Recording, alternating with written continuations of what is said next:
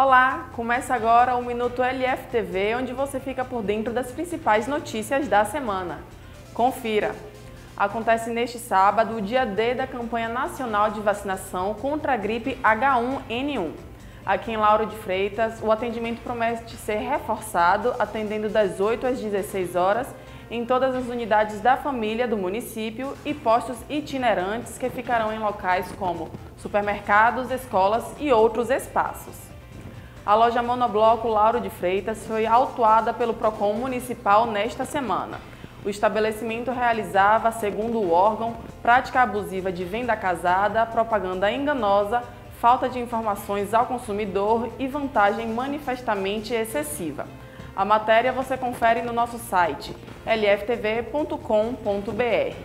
A deputada estadual Mirela Macedo, do PSD, comentou em entrevista que há possibilidade de ser candidata à Prefeitura de Lauro de Freitas, mas que ainda deve conversar com o senador Otto Alencar. Caso registre candidatura, Mirella deve concorrer com seu ex-marido e dono do atacarejo, Teobaldo Costa. E a dica LFTV para o seu fim de semana é curtir a nova temporada de Gargalhadas do Vilas Comedy, que acontece no Zorros Arena neste domingo a partir das 19 horas. A temporada se estende por todos os domingos de maio e vale a pena conferir.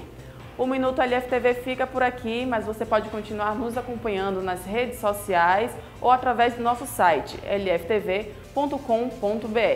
Contribua também com a nossa equipe enviando mensagens, fotos e vídeos para o nosso WhatsApp pelo número 99230 1642.